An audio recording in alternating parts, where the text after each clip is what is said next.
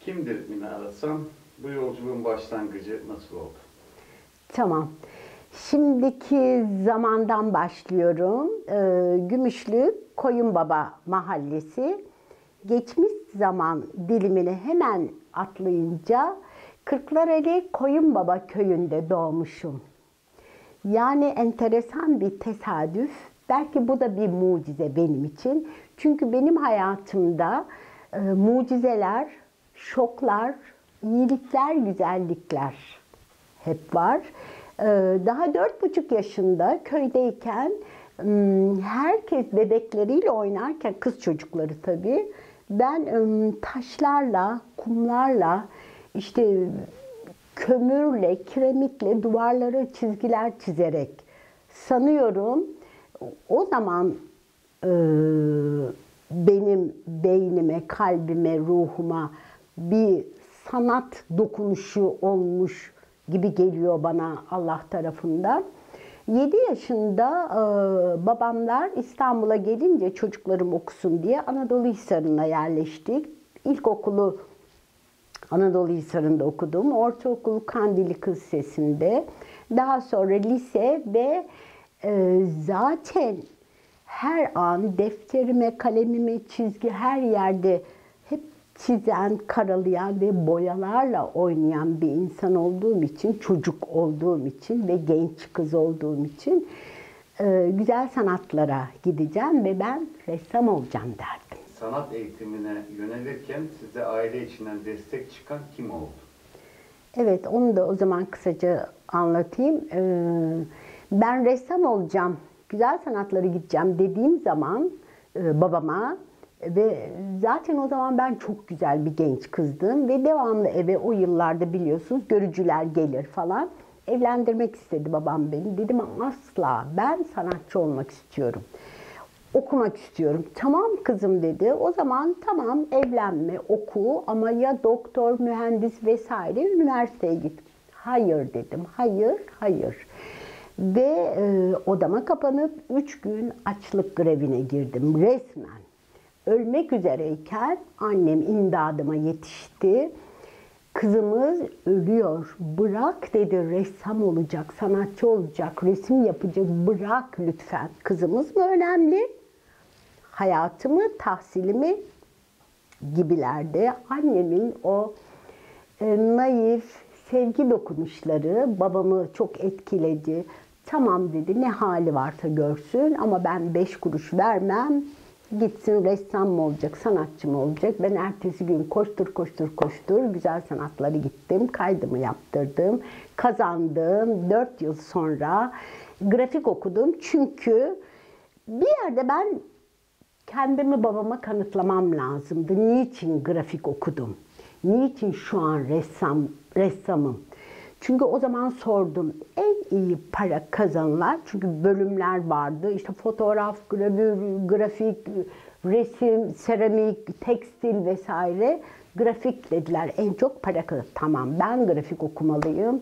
Grafik okudum. Mezun olduktan sonra grafik ajanslarında çok aranan bir kişi oldum ve 6 ay sonra ilk arabamı alıp babama dilediği her şeyi, televizyonu falan filanı, işte anneme ilk e, mesela fırını ben aldım.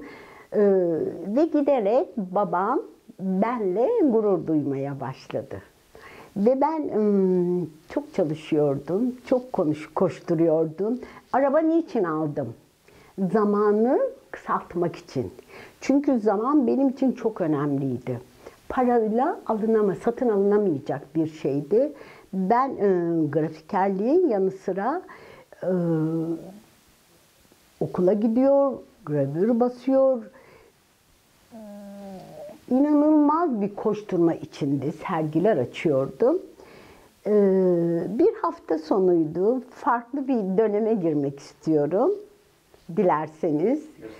Ee, Ben asla evlenmeyecektim. Çünkü uluslararası bir sanatçı olmak istiyordum. Kitaplarım olmalıydı, eserlerim olmalıydı, ödüllerim olmalıydı. Ee, Bir hafta sonu Kumburgaz'a diğer kardeşimin e, yazlığına gittik. Orada yeğenimle e, kumda ben kitabımı okuyordum. O da topla oynuyordu. Top gitti. Orada 3-4 tane genç e, çocuklardan birinin başına çarptı yeğenimin topu.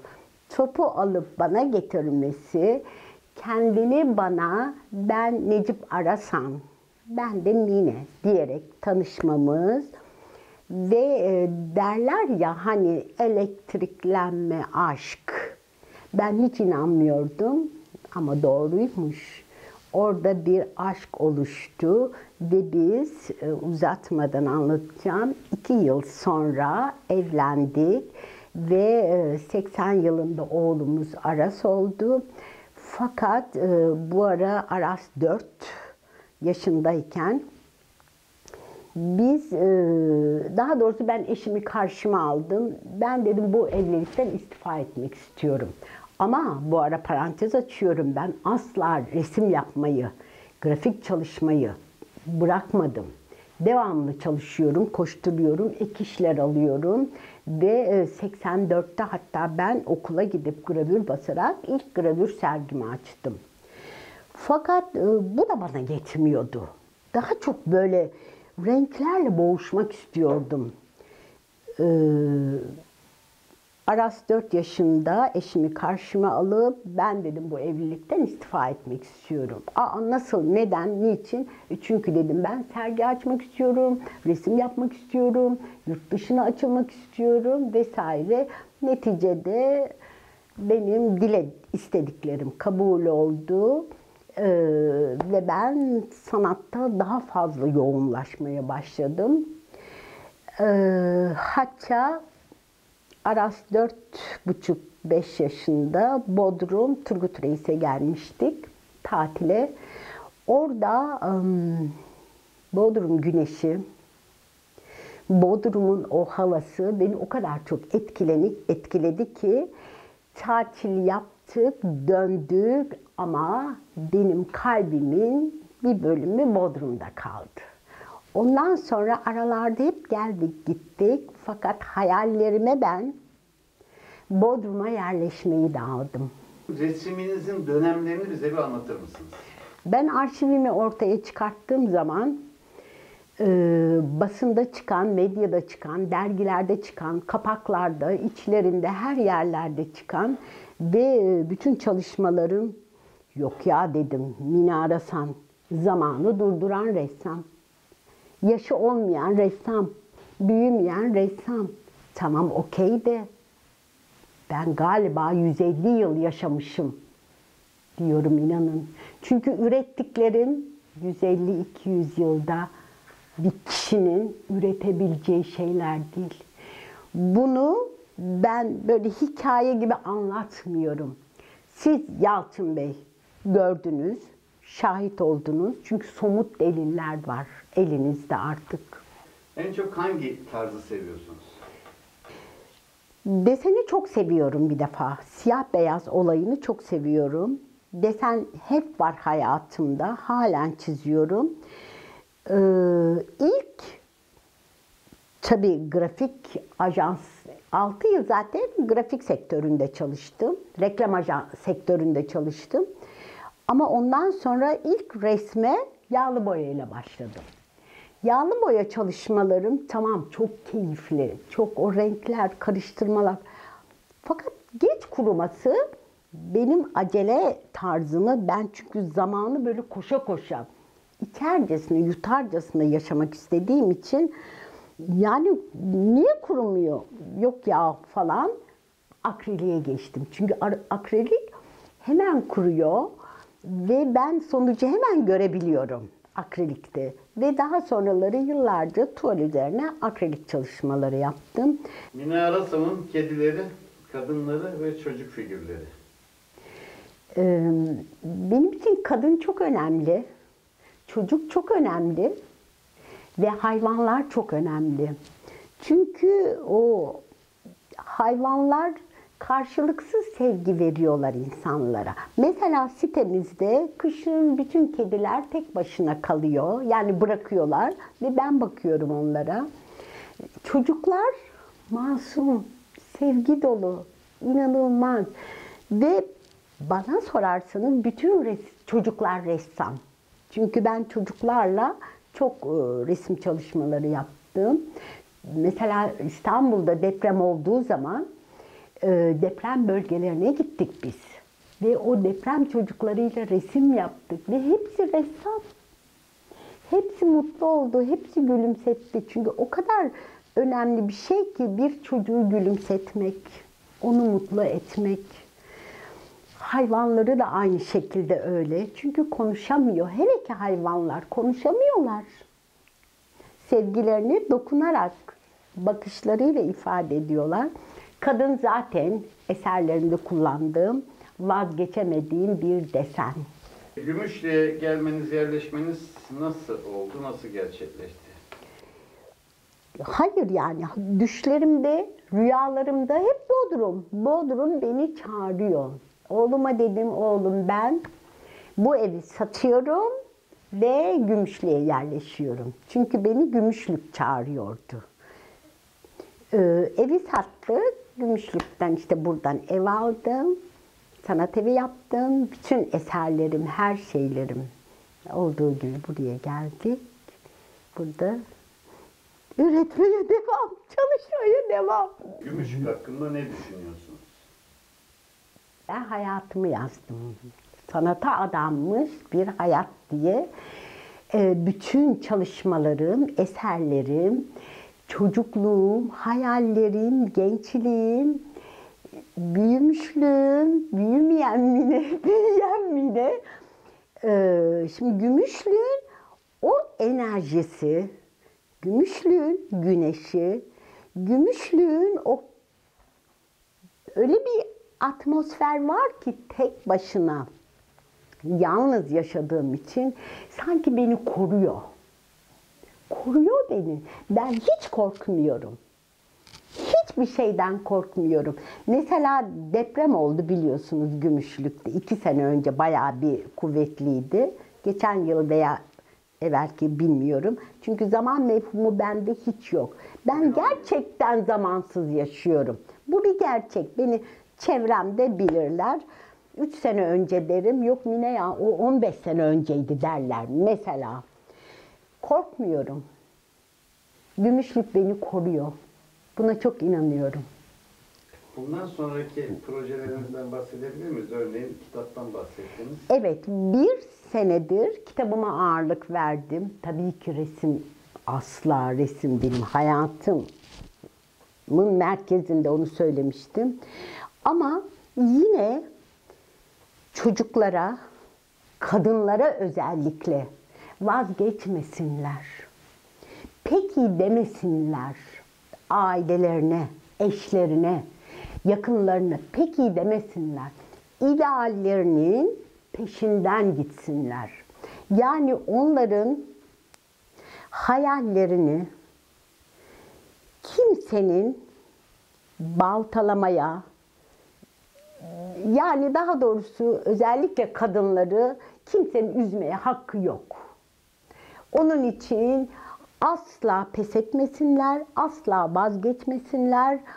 Yapmak istedikleri şeyi bir şekilde yapabilirler, yapıyorlar. İşte ben örnek. Onun için bu sanata adanmış bir hayat bir örnek olmasını istediğim için yine kalıcı bir şey. Bir kitap, iki kitap, üç kitap, dört kitap, beş kitap.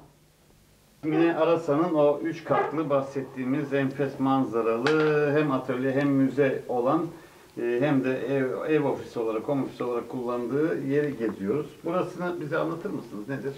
Ee, burası benim kalbimin attığı yer. Yani atölyem. Ee, uyku odam var. Aşağısı giriş, oturma odası var. Ve en aşağıda da gravürlerimin olduğu e, ve eski dönem çalışmalarımın olduğu sanat galerisi var. Şimdi oraya da ineceğiz. Şimdi burası atölyemin devamı oluyor. Burada da eski dönem çalışmaları var ama son çalıştığım hatta hiç sergilenmeyen bile eserlerim var. Belki çok e, iyi bir sanat galerisinden, iyi bir sanat merkezinden bana sergi teklifi gelebilir. Çünkü şu eserlerimi hiç daha sergilemedim şunları. Bunlar Ankara'da sergilendi şu ikisi. Zaten üretmeye hep devam ediyorum. O çalışmalarımla e, Zürih'te bir sergi yapmıştım İsviçre'de ve sadece dört tane kaldı. Çünkü Türk sanatçının eserleri diye çok çok çok ilgi görmüştü. Orada hatta Almanya'da çıkan e, gazetelerde e, baş sayfada e, eserlerim yayınlanmıştı ve benim haberim yapılmıştı. Atölyemden giriş katına aşağı iniyoruz. Mesela yine iki yıl önce Vun Bodrum şarapları benim desenlerimi kullandı. Şarap şişeleri etiketlerinde.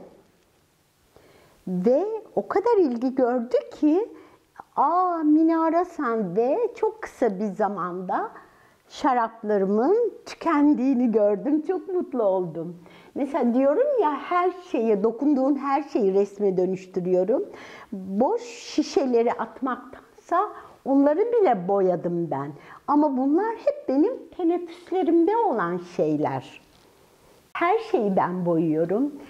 Evimi ben yaptım. Ee, Ben e, hep ben ben diyorum ama gerçekten ben. Çünkü mesela bunu marangozdan gittim aldım ham olarak ve e, işte boyaması bana ait. Zaten belli. İşte kanepem yine aynı şekilde.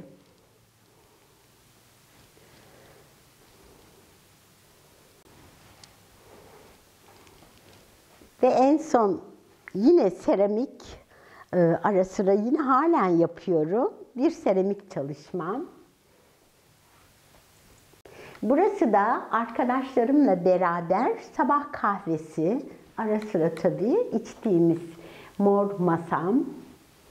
Tabii ki bu mor değildi. Her şeyi ben mora, pembeye boyuyorum.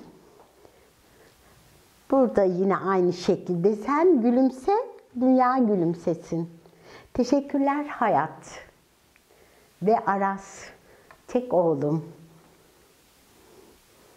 Bodrum Gümüşlük. Seni seviyorum. Bugün yine harika bir gün. Çünkü hiç e, bu kadar çok bana değer verip zaman ayıran bir kişi olmadı diyebilirim. Yalçın Çakır.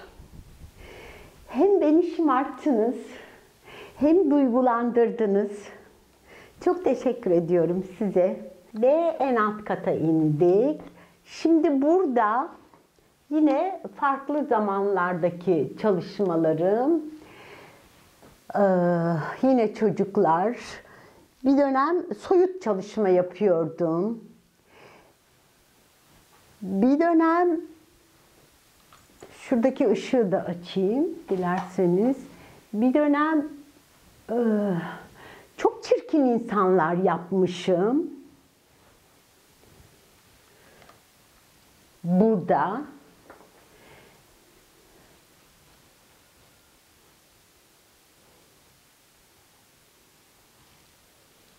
yine insanları mutsuz, çirkin gördüğüm bir dönem. Burası benim çocuk bahçem esasında. Çünkü bu duvarıma çocuklarla resim yaptık ve bitti. Artık üst üste resimler ve yan duvara taş, taştık. Yine çocuklar geliyor. Yine çocuklarla resim yapıyoruz. Gümüşlük okulunda çocuklarla yine bahçe duvarına resimledik. Gravürü çok seviyordum. Zaten e, gravür atölyesini seçtim ben temel sanat eğitiminden sonra güzel sanatlarda. Baskı olayını çok seviyordum. Bu ellerim parçalanırcasına baskı yapıyordum. Ama e, Bodrum'a gelince gravür makinemi arkadaşıma bıraktım. Burada daha zordu çünkü o koşullar. Ve e, bu baskı olayı benim hayatımda çok önemli bir dönemdir. İlk sergim gravür sergimdi. İtalya'dan, yurt dışından, buradan e, hep ödüllerim var gravür alanında.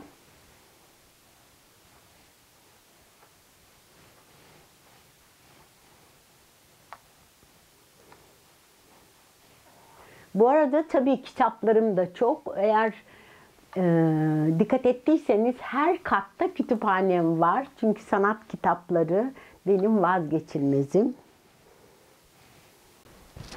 Evet Sayın Arasan, şimdi insanlar bu videoyu izledikten sonra Gümüşşehir'e geldiklerinde bu Mine Arasan müze ve atölyesini görmek isterlerse gelip gezebilirler mi? Tabii ki zaten geliyorlar. Her zaman ben hep atölyemdeyim. E, Instagram'dan, Messenger'dan, Facebook'tan bana ulaşabilirler ve e, gelebilirler ziyarete. Bye bye.